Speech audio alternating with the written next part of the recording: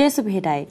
විශ්වීය සමිඳුකෙත සත්‍යය වචනයෙන් පෝෂණය කරන ශ්‍රී ලාංකීය කිතුුණු සංනිවේදකයා වබුම් TV අදත් සූදානම් කිතුලොව සතියක විමසුම කිතුුණු තතු ආරම්භ කරන්නට.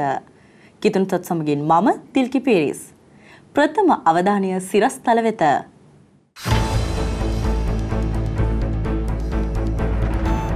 මරිය හමුදාවසිය ගමන් මගෙහි ශත සංවත්සරය සමරයි. ගරු ජෙරල් ක්‍රිස්පින් ලියෝපියතුමා පූජක දිවයේ පනස්සය වන වසර පසු කරයි. මාතරප ස්වාමිදුගේ ජාතික සිද්ධස්ථානයේ වර්ෂික මංගල්‍ය පැවැත්වීමට සූදානම්. ශතවර්ෂ ගණනාවකට පෙර කොරියාවේදී දිවිපිතු ඇදහිලිවන්තයින්ගේ දේහයන් සොයාගැනේ.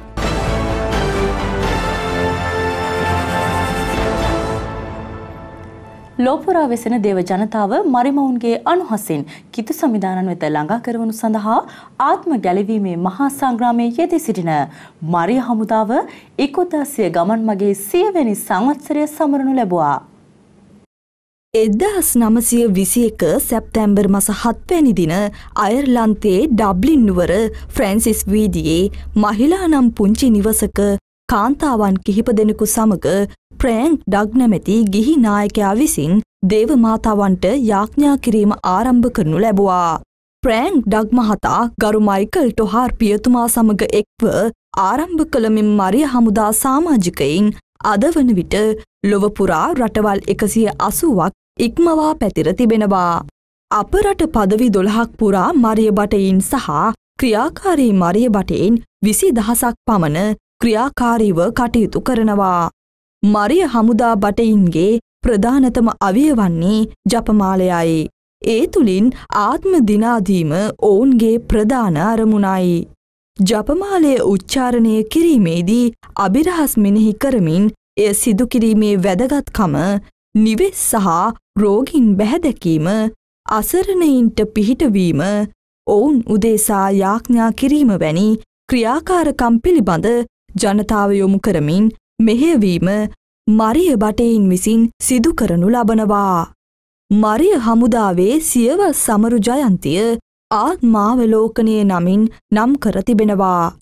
මේ වෙනුවෙන් වූ විශේෂ තුතිපිදීමේ දිව්‍ය පූජා යාගයක් පසුගියදා තේවත්ත වර්බුම් රූපවාහිනී නාලිකාවේ දේවස්ථානයේදී ඔප්පු කරනු ලැබුවා.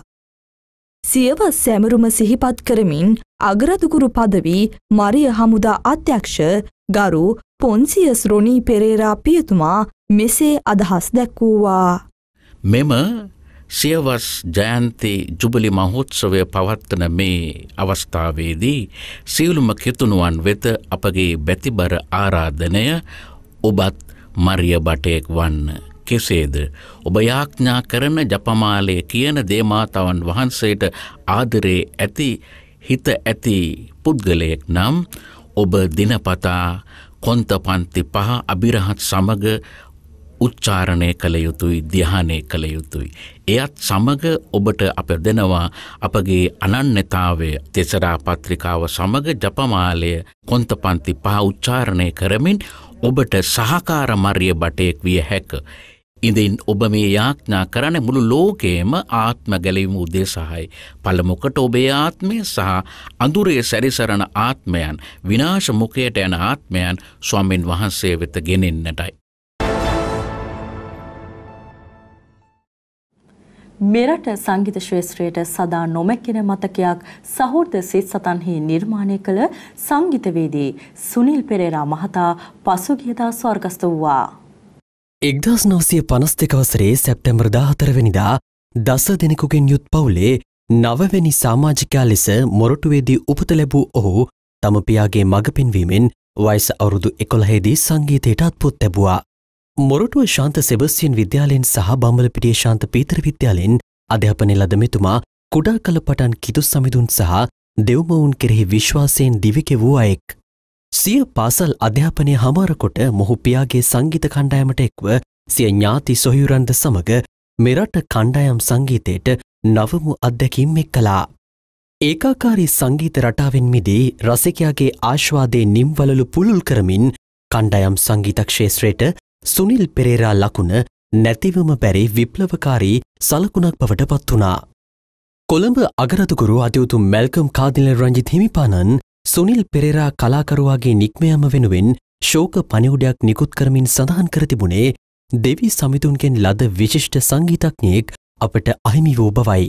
මව්බිමට ආදරය කළ සාමාජයේ අක්‍රමිකතා වෙනුවෙන් තම සංගීත හැකියාවෙන් පිළිතුරුදුන් අවංක නිර්භිහිත කලාකරුවෙකු බවත් දුප්පත් සහ දරිද්‍රතාවෙන් පෙළෙන ජනතාවට සුහදත්වය දැක් වූ විශිෂ්ට සංගීතඥයකු බවද එම පනිවුඩේ සඳහන් වෙනවා.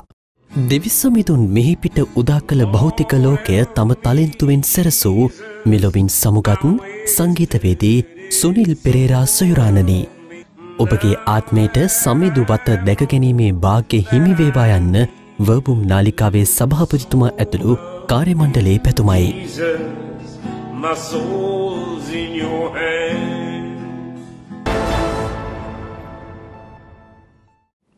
දෙවිදුන්ගේ පුදුම සහගත වරප්‍රසාද තුළින් යන තේමා පාටය සිය ජීවිත පාටය කරගත් ගරු ක්‍රිෂ්පීන් ලියෝ පියතුමා සිය පූජක දිවියේ පනස් හය වන වසර පසුගියදා පසු කරනු ලැබවා. හංවල්ල වගමිස්සමේ නෙළුවොත්තුඩුව ග්‍රාමයේ ගුරුයුබලකට දාව එක්දස් නවසය තිස්සය වර්ෂයේ දෙසැම්බර්මස පස්වන දින මෙතුමන් උපත ලැබවා. කළුවක් කළ ශාන්ත ජෝන් බොස්කෝ විදුහලේ හිටපු විදුහල්පතිවරයෙකු වූ WD ජෙරමියා මහතාට සහ මේරී ජොසපින් සංගපාලයන දෙමාපියන්ට දරුවන් දස දෙනකූ අතර මෙතුමන් එම පවුලේ හතරවැනි සාමාජිකයා වූවා. ප්‍රාථමික අධ්‍යාපනය මාවල්ගම රෝමානු කතෝලික මිශ්‍රපාසලින්ද මුලික අධ්‍යාපනය හංවැල්ල කළුවක්ගල ශාන්ත ජෝන් පොස්කෝ විදුහලෙන්ද ලබාගත් මෙතුමන් කළුවක්ගල වික්ෂෝප දෙවමාතා දේවස්ථානයේදී ප්‍රථම වරට තිවිසත් ප්‍රසාද වහන්සේ ලබාගත්තා. එවකට හංවැල්ල මීසම් සේවක ජර්මන් චාතික කරු ලූෂන් ස්මිත් පියතුමාගේ මඟ පෙන්වීම මත එක්දස් නවසය පනස්වන වර්ෂයේදී කනිටු දෙව්සත්හලට ඇතුල්ලූවා. එක්දස් නවසය හැට වර්ෂය සිට එක්දස් නවසය හැට දෙක වර්ෂය දක්වා මහනුවර අම්පිටිය ජාතික දෙව්සත්හලේ පූචක පුහුණු ලද මෙතුමන්ව සිය පූචකවරම් ලබා ගැනීමට වතිකානය වෙත යවනු ලබනවා. එහිදී එක්දස් නවසය හැටහේ ජනවාරිම සහය වන දින වතිකානයේ ශාන්ත පීතර බැසිලිකාවේ පුදසුන අභියසදී මෙතුමන් පුදදුරුවරම් ලබාගත්තා. ස්වර්ගස්ථ වී වදාළ හයවන පවුලු සුදතුම්පියානන් මෙම දෙවමය ඔප්පු කරමින් පූචක වරම් දානය කිරීමේ සාක්ෂිතරනු ලැබවා. එම වර්ෂයේදී ශ්‍රී ලංකාවට පැමිණිගරු පියතුමා හංවැල්ල මීසමේ නිරිපොල කානික්ක දෙවමාතා දේවස්ථානයේදී තම කුළුතුල් දෙවිපූජයාගේ දෙවිපියනන්ට තුතිපුදමින් ඔප්පු කලා. අනතුරුව දේවසේවයට එක්වෙමින් එක්දස් නවසය හැටහයේ සිට එක්දස් නවසය හැට හතවර්ෂය දක්වා මොරටුව මීසමේ මීසම් සෙවක පියතුමා ලෙසත් වර්ෂ එක්දස් නවසය හැට හතේ සිට එක්දස් නවසය හැත්තෑ වර්ෂය දක්වා කොළඹ මරදාන ශාන්ද ජෝසප් විදුහලේ ගුරුමණ්ඩලේ පියතුමක වශයෙන්ද මෙතුමන් සේවය කර තිබෙනවා. තවද මෙතුමන් ජායල තුඩැල්ල මීසම් සෙවක පියතුමා වශයෙන් සහ ඇක්වයිනස් ශාලාව භාර පියතුමා වශයෙන්ද සේවය කර තිබෙනවා. අනතුරුව ශාන්ත ජෝසප් විදුහලේ සේවයට පත් කළකරු පියතුමා හට අගරදුගුරු පදවි ක්‍රස්තියානි ශිෂ්‍ය ව්‍යාපාරය සහ සරස විශිෂ්‍ය ව්‍යාපාරය භාරව කටයුතු කිරීමට අවස්ථාව ලැබෙනවා. අධ්‍යාපන කටයුතු සඳහා එංගලන්තයේ සරසවියකට ඇතුළූ මෙතුමන් එහිදී ආර්ථික විද්‍යාව පිළිබඳ ශාස්ත්‍රපති උපාදිහ ලබාගත්තා.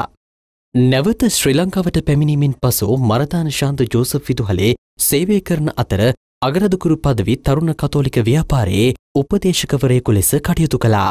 වර්ෂ එක්දස් නවසය අසූ හතේ සිට එක්දස් නවසය අසූ නවේ දක්වා මරදාන ශාන්ත ජෝසප් විදුහලේ නියෝජ්‍ය ප්‍රධාන අධිවරු වශයෙන් සේවය කළ පියතුමා එක්දස් නවසය අසු නවයේ සිට දෙදාසය වර්ෂය වනතුරු කොළඹ ඇක්වයිනස් උසස් අධ්‍යාපන ආයතනයේ ප්‍රධාන අධිහුරු ලෙස සේවය කළා. මෙතුමන්ගේ සේවාකාලය තුළ එම ආයතනය තුළින් උපාධි ප්‍රධානය කිරීමේ අවස්ථාව උදාකර ගැනීම දරුපරපුරට මහඟුභාග්‍යයක් වූවා. මෙතුමන් සමිධානන්ගේ දූතකාරයට අමතරව සුභසාධක සේවා රැසකටද සිය දායකත්වේ ලබාදී තිබෙනවා. ගරුපියතුමා වග නෙළුවත්තුඩුව සදාසරණ පැවිදි ආරාමය ස්ථාපිත කර තිබෙන ඉඩම මිලදී ගැනීමට මූලිකත්වේදී කටයුතු කර පැවිදි ආරාමේ ඉදිකිරීමේ කාරයටද දායක වූවා. නාවල රාජකිරිය සදාසරණ පැවිදි ආරාමයේ ප්‍රධාන මෞතුමිය වන ගරු රීටා වෑවිට පැවිදිසෝරිය දැනට රෝමයේ අධ්‍යාපන කටයුතුවල නිරතවී සිටින කරු මලිත් තිබංක කළුවරච්ච පියතුමා සහ රාගම සහයක මීසම් සේවක සහ රාගම රෝහලේ උපාධ්‍ය කරු ක්‍රිෂ්ණක ඩිලාන් පෙරේරා පියතුමා කරු ක්‍රිස්පින් ලියෝ පියතුමාගේ පවුලෙන් දේවකාරයට එක්වී තිබීම සුවිශේෂී කරුණක්. මෞකුසේ උපදින්නටත් පෙර වූ සමිදු තෝරා ගැනීමට අවනතව නම කියා හඬගැසූ ආරාධනයට ගතසිත වචනය කැපකර පුරා පනස්සය වසරක සමිදු මිදියුවනෙහි සේවය කළ මාහැඟි මෙහෙවරට එතුමන්ට තවත් දෙගුකල් දෙවි සමිධානන්ගේ ආශිර්වාදේසා ප්‍රඥාව ලැබේවායි වර්බුම් නාලිකාවේ සභාවජතුමන් ඇතුළු කාර්යමණ්ඩලය ප්‍රාර්ථනා කරනු ලබනවා. මෙවර මාතරප ස්වාමිදුගේ සිද්ධස්ථානයේ වාර්ෂික මංගල්‍යය ජනතා සහභාගිත්වයෙන් තොරව හෙට දිනේ පැවැත්වීමට කටයුතු සූදානම් කර තිබෙනවා. වාර්ෂික මංගල්‍ය දිව්‍ය පූජායාගේ ගාල පදවිය නේරාණන් වන අතියුතුම් රේමන් වික්‍රමසිංහ හිමිපාණන්ගේ ප්‍රධානත්වයෙන් පැවැත්වීමට නියමිතයි. මෙවර එම මංගල්‍යය පැවැත්වෙන්නේ එකසියදා හතරවෙනි වතාවටයි. මෙවර ජනතා සහභාගිත්වෙන් තොරව මංගල්‍ය පැවැත් වූවත් වසරක් පාසා මාතරප ස්වාමිදුවගේ පිහිට පතා දිවෙනේ නන්දසින් පැමිණෙන දේව ජනතාව දෙවි සමිඳුන්ගෙන් ලද වරප්‍රසාද පිළිබඳව පසුගිය වසරවලදී අදහස් දැක් වූයේ මේ ආකාරයටයි. අපි ගේ සැරෙත්තාවා අපිට හැමදේම ඉෂ්ට වුණා ඒකින්ද අපි ඒ බලාපොරොත්තු ඇතුව තමා මේ දේවස්ථානට ආවේ මෑණියන්ව වැඳ පුදා ගන්න. මම දැන් මීට අවුරුදු දෙකකට උඩදී කැන්සර් එකකින් හිටියේ මට ඇත්තම කැන්සර් එකක් කියලා කිව්වා. මම ඉතින් දේවමෑණින්ගේ විශ්වාසයෙන්ම මේ මේ පල්ලියට ආවා. දැන් මට ඇත්තටම සුවයි. දැන් මට ලෙඩක් නැහැ. දේවමෑණියන්ගේ පිහිට අපිට ලැබුණා. මාතර මෑණියන්ගේ ආස්කම් උඟක් මට ලැබිලා තියෙනවා. සිද්ධස්ථාන පාලක ගරු මයිකල් කොලින් පියතුමා සහයක පියතුමා සමග ධර්මසේවා සභාව එක්ව කොරෝනා වසංගතයෙන් ලොව මුදන්නට දෙවිමවුන් ඉදිරියේ යතිමින් මෙවර මංගල කටයුතු සංවිධානය කළා. මංගල්‍ය දෙවය පූජාවේ සජීවී විකාශනය හෙට පෙරවරු අටේ සිට වර්බුම් නාලිකාවෙන් ඔබ වෙතගෙනීමටද කටයුතු සූදානම් කර තිබෙනවා. ජේසු ස්වාමි දරුවන් ඉදිරේ අප නිසා යක්ෂයා කළ මැනව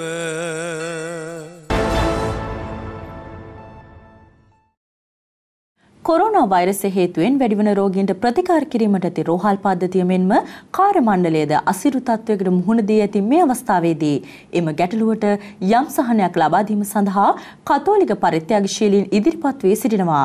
එවන් පරිත්‍යාගයකින් වැලිසර සොසන රෝහල පිළිබඳ ජාතික රෝහලේ නවීකරණය කරන ලද ප්‍රතිකාර ඒකකයක් පසුගියදා ආසිරිගන්වා කොරෝනා රෝගීන්ගේ ප්‍රයෝජනය සඳහා ලබා දුන්නා.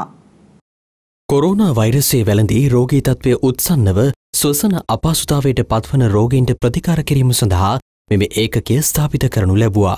දැනට රෝහලේ ඇති පහසුකම් ප්‍රමාණවත් නොවන බැවින් ඊට පිළියමක් වශයෙන් සාධානිම කළ අධි රැකවරණ සහිත රෝගී ප්‍රතිකාර ඒකකය අගරදුකුරු පදවි සෙත්සරණ අධ්‍යක්ෂ කරු ලෝරන් ශ්‍රාමණයක පිතුමා විසින් ආසිරිගන්වනු ලැබවා. මෙම අවස්ථාවට මත්තුමගල මීසම් සේවක ගරු චමින්ද රෝෂණ පියතුමා සමඟ මත්තුමගල විහරස්ථානය විහරාධිපති ගරු ස්වාමින් වහන්සේද සභාගී වූවා. මෙම නවීකරණ කාර්ය සඳහා සියලු පිරිවය පරිත්‍යාග කරනු ලැබූ රොෂාන් ගුණතිලක මහතාගේ ආරාධනයෙන් කොවිට් රෝග මර්ධනය කිරීමේ රාජ්‍ය අමාත්‍යතුමේද මෙම පුුණ්‍ය කටයුත්තට සභාගී වූවා. මෙම අවස්ථාවේදී අගරතුකුරු අතියුතු මැල්කම් කාදින රංජිත් හිමිපාණන් විසින් ලබාදී තිබූ රෝහලට අවශ්‍ය උපකරණද රෝහල වෙත භාර දෙනු ලැබවා. අකරදුකුරු හිමිපාණන් නියෝජනය කරමින් මෙම බහන්්ඩ රෝහල් අධ්‍යක්ෂ වෙත භාරදීම රාගම රෝහල් උපාදය සහ රාගම මීසම් සහයක ගරු ක්‍රිෂ්ණ කඩිලාන් පෙරරා පියතුමා විසින් සිදු කරනු ලැබවා. මෙම විශේෂ අවස්ථාවට රෝහලේ වෛතිවරුන් සමඟ රෝහල් කාර්යමණ්ඩලයෙක් වී සිටියා. ජේසුස් සමිධානන් සහ මරියතුමිය තුළ දයාවේ පැවිදි සොයරියක් ලෙස එක්දස් නම්සය හැටේකේ අගෝස්තු මස විසි වන දෙන සිය වේදභාර පොරොන්දු ලබාදුන් ගරු මේරී එදල් පිරිස් පැවිදි සොයරිය සිය දියමන්ති ජොබිලිය පසුගියදා සමරනු ලැබවා. මහනුවර අම්පිටිය ග්‍රාමයේ ජීවත් වූ බැතිවර කතෝලික පවුලක සාමාජිකාවක් ලෙස උපත ලද මෙතුමිය සිය දියමන්ති ජුබිලිය වෙනුවෙන් දෙවිපියාණන්ට ස්තුති කර දිව්‍ය පූජායාගයක් ඔප්පු කරනු ලැබවා. මෙම දිව්‍ය පූජා යාගය කෑගල්ල සාන්ත ජෝෂ පැවදි ආරාමයේ ශුද්ධ වූ ජුසේවාස් මුනිදුන්ට කැප කළ දේවස්ථානයේදී පැවැත්වූවා. කෑගල්ල දිසානායක ගරු රංජන් මාල් මොරායස් පියතුමා විසින් මෙය පැවැත් වූ අතර මේ සඳහා කෑගල්ල මී සම්සේවක ගරු ඇන්ටන් ශ්‍රියන් ප්‍රනාාන්දු පියතුමා සහය වූවා. කෑගල්ල සාන්ත මරයා වැඩිහිටි සුභසාධක සංගමේ සහ වැඩිහිටි සෞඛ්‍ය ප්‍රජා සේවා නිවස්නයේ අනුශාසක වශයෙන් දැනට ගරු පැවදි සොයිරිය කටයුතු කරනු ලබනවා. මෙම අවස්ථාවට කෑගල්ල මීසම් සහයක ගරු සමීර මදූෂද සිල්වා සහ ගරු ක්‍රිස්ටෝපර් කොරේරාපියතුමා සමග සාන්ත මරයා පැවිදි ආරාමයේ ගරු ඇන්ජලා ප්‍රනාන්දු මෞතුමිය ඇතුළු ගරු පැවදි සොයුරියන් සහභාගී වූවා. කොරෝනා වසංගතය හමුවේ පීඩාවට පත් රෝගීන්ට සහ එම පවුල් වෙලායට සහන රැසක් සැලසීමට කඳාන නාගොඩ මේ සම්සේවක පියතුමා මේ වන විට පියවර ගෙන තිබෙනවා. කඳාන නාගොඩ මී සම්සේවක ගරු ලින්ටන් ජෝෂ ප්‍රනාන්දු පියතුමා මේ සඳහා සහන සැලසේ යුතු ව්‍යාපෘති කිහිපයක් ඔස්සේ මේ වන විට කටයුතු කරමින් සිටිනවා. කොරෝනා ආසාධිත පවුල් විමර්ශනය කර ඔවුන්ව රෝහල් ගත කිරීමට අපහසු වන අවස්ථාවලදී ඊට මැදිහත් වනවා. ඒ සඳහා තම වාහනය ලබාදීම පවා සිදු කරනු ලබනවා. කඳාන ආනියා කන්ද දිසාරෝහලේ නේවාසිකව ප්‍රතිකාර ලබන රෝගීන් සඳහා සෑම මසකම පළමුවන ඉරුදින පෝෂදාහි ආහාර ලබාදීමට කටයුතු කරන අතර ඒ සඳහා මීසමී සුරක්ෂිත පවුල්වලින් සම්පත්දායකත්වය ලබාගන්නවා. මීසමේ අනු දේවස්ථානයක් වන රෝහල් පරිශ්‍රයේ පිහිටි ශුද්ධෝ ජුසේ මුනිදුන්ට කැප කළ දේවස්ථාන පරිශ්‍රය එන්නත් කිරීම් කටයුතු සඳහා ලබාදී තිබෙනවා. කඳාන නාගොඩ ප්‍රධාන දේවස්ථාන පරිශ්‍රය PCR පරීක්ෂණ කටයුතු කිරීම සඳහා සෞඛ්‍ය අංශවෙත ලබාදී තිබෙනවා. නිරෝධායනයට ලක්වී ඇති අසරණ තත්ත්වයන්ට පත් පවුල් සඳහා අවශ්‍ය වියලි ආහාර පාර්සල් ඔවුන්ගේ නිවෙස්වලට මුගොස් ලබාදීමද සිදු කරනු ලබනවා. රෝගයෙන් මරණයට පත්වන මී සම්වාසී ජනතාවගේ බස්මාවශේෂ තැන්පත් කිරීම සඳහා සුසාන භූමියේ වූ ස්ථානයක් සකස් කරමින් සිටිනවා. මීසම් සහයක ගරු විකුම් ඇන්ටන් පියතුමා සමග ඩොමිනිකානු නිකායේ පැවදි ආරාමයේ ගරු ඇනට් ප්‍රනාන්දු ප්‍රධාන මෞතුමිය ඇතුළු පැවදි සොයිරියන් මීසම් ධර්ම සේවා සභාව හා එක්ව මෙම සියලු කටයුතු සංවිධානය කරනු ලබනවා. මේ පිළිබඳව නාගොඩ මීසම් සේවක ගරු ලින්ටන් ජෝෂ ප්‍රනාන්දු පියතුමා මෙලෙස අදහස් දැක්වූවා. පළවෙනි ව්‍යාපෘතිය මිසමේ සහ ගමේ ඉන්න සියලු රෝගීන් ගැන සොයා බලා උපස්ථාන කිරීම සහ උදව් කිරීම. දෙවන ව්‍යාපෘතිය අත්‍යවශ්‍ය දේවල් ජනතාවට සහන මිලට ගැනීමට අවස්ථාවක් ලබාදීම. තුන්වෙනි ව්‍යාපෘතිය ආනියකන්ද රෝහලේ කොයිට් වාට්ටුවේ කොයිට් සැදී අසරණව ඉන්න ඒ වාට්ටුවේ ඉන්න අයට අමතර පෝෂණයක් සඳහා ආහාර වේලකින් දායකවීම. හතරවෙනි කාරණාව ආදාහනය කළ පසු ලැබෙන අලු තැන්පත් කිරීමට සුසාන භූමියයේ තැනක් පිළියල කිරීම. පස්වනි ව්‍යාපෘතිය නිරෝධායනය ඇදිරිනීතිය ක්‍රියාත්මක වන කාලය තුළ අසරණ පවුල් වලට උදව් කිරීම. සහ අයගේ කුසගින්න නිවාගන්නට කළ හැකි දෙයක් කරන්නට උත්සාහ කිරීම. ඒ කියන්නේ අසරණයි කියලා හිතනායෙක්ට බඩගින්න ඉන්න මේ ගමේ අවශ්‍යතාවයක් නෑ. අපි ඒ සඳහා සියල්ල කරන්න සූදානම්. දැන් අවධානය විදෙස් පුවත් වෙත.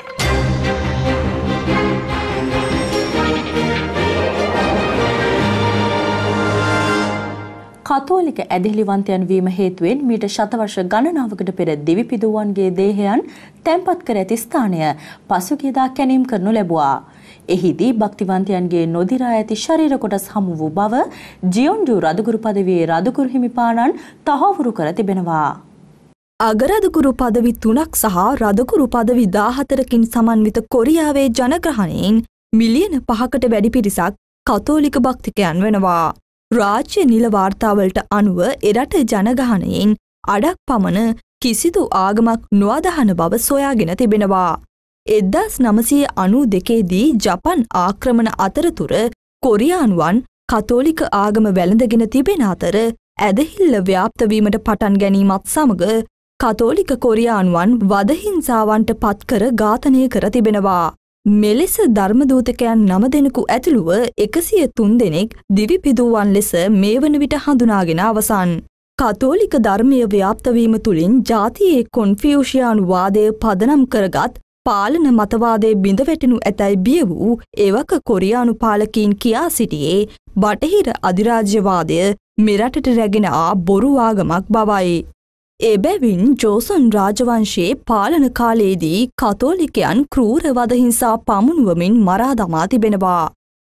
මෙලෙස ඝාතනය කළ අය අතර රදුගුරු අතියුතුම් ජෝන් හිමිපානන්ද වන බවත් පෝල් යුන්ජීචුන් සහ ජේම්ස් කෝන් සැන්යෝ යන අය හිසගසා මරා දමා ඇති බවත් සොයාගෙන තිබීම විශේෂයි. ෆ්‍රැන්සිස් යුන්ජීහියෝන් යන ඇදහිලිවන්තයා තියුණු ආයුදුවලින් කපා මරා තමා ඇතැයිද මේ වන විට තහවුරු කර තිබෙනවා. සෝල් නගරයට කිලෝමීටර දෙසිය හතලිස් තුනක් දකුණින් පිහිටි වංචූහි මෙම දේහයන් තැම්පත් කර ඇති අතර එහිදී කැනීම් වලින් දේහයන්ගේ කොටස් සොයා ගැනීම සැබවින්ම විශ්මය ජනක බැවින් දෙවියන් වහන්සේට ගැඹුරු විශ්වාසකින් යුතුව මහිමය සහ ස්තූතිය පුද කරන බව නිවේදනයක් නිකුත් කරමින් ජියෝන්ජු රදගුරු පදවියේ රදගුරු අතියුතුම් ජෝන් කිම් සොන්ටේ හිමිපානන් ප්‍රකාශ කරනු ලැබුවා. දෙදස් දාහතර වර්ෂයේදී අපෝස්තිලික සංචාරයක් සඳහා කොරියාවට පැමිණි ෆ්‍රැන්සිස් සුදුතුම් පියාණන් හිංසාවට ලක්ව ජීවිතක්ෂයට පත් වූවන් මිහිතන් කර ඇති ස්ථානයේදී ඔවුන් වෙනුවෙන් යාඥා කර ප්‍රශංසා කර තිබෙනවා. මොවුන් මරණ දණ්ඩනය සඳහා ගෙන යන විට පවා එකට එක්ව ජේසුස් සමිධානන්ගේ සහ මරියතුමියගේ ගුණ ගායනා කරමින් ගොස් ඇති බවට සාක්ෂි ලැබී තිබෙන බව රදුගුරු හිමිපාණන් සඳහන් කර සිටියා. දිවිපිතුවන්ගේ දේහයන් හමු වූ ස්ථානයේදී එළඹෙන දාසය වන දින ගෞරව පූජාවක් ඔප්පු කර කැනීම්වලින් සොයාගත් ශරීර කොටස් නැවත තැන්පත් කිරීමට මේ වන විට කටයුතු සූදානම් කර තිබෙනවා. අපගේ කිතුුණු සතු පුවත් විකාශය මෙන්නිමාවට පත්වනවා. කොරෝනා වසංගතය හමුවේ සංචරණ සීමාවලට යටත්ව සිටිනට සිදුවී ඇති මේ අවස්ථාවේදී සුපරීක්ෂාකාරීව සහ නීරෝධයන සෞඛ්‍ය නීතිරීතිවලට අවනත වෙමින් මෙම වසංගත තත්ත්වය සාර්ථකව මර්ධනය කිරීමට හැකි උපරිම අයුරින් අපේ දායකත්වය ලබා දෙමු. ඔබේ ආරක්ෂාව ඔබගේ පවුලේ ආරක්ෂාවයි. ඔබේ පවුලේ ආරක්ෂාව රටේ ආරක්ෂාවයි. වගකීම නිසියාකාරව ඉටු කිරීම දෙවි සමිධානන් වහන්සේ අපට ලබා දී ඇති පණිවිඩයයි. සමිධානන්ගේ විශ්වාසය තුළ ඒට කරමු. සද්දිනකින් නැවත හමුවෙනතුරු ඔබට සුබරාත්‍රයක්. ජෙසු පිහිටයි.